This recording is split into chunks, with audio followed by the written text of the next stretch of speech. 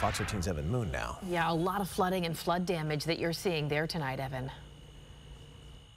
Yeah, it's bad all over Manatee County, but we're in a neighborhood in Lakewood Ranch that got it really bad. Residents today say that it came up to their doorstep and in some instances even into their house. And nearly 24 hours after the worst of the storm has passed, I'm still standing in nearly a foot of water and it goes down the street in every direction. A lot of people are still trapped in their homes. Now, this neighborhood, Star Farm, is newly built just last year, and residents here are very concerned that if the flooding was this bad for Debby, what could be in store for the remainder of hurricane season. Residents tell me the flooding started before around midnight last night and continued for hours.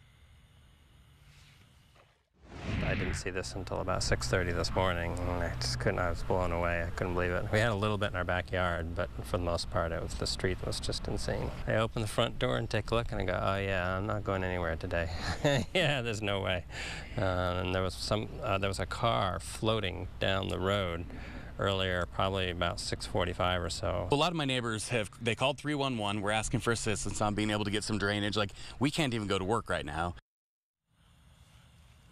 Now, there's definitely a sense of community out here. I'm told neighbors are sharing rations, food, and water with each other. They say they just don't know how long they're going to be stuck in their homes, and they have no word on any drainage help from the county yet. It may be a few days before this clears out. Now, I did speak with uh, Manatee County Emergency Management. They tell me they are trying to get help out here, but for now, they say don't drive in this. It still could be really dangerous. We'll have more from that interview with Manatee County uh, next hour at 11.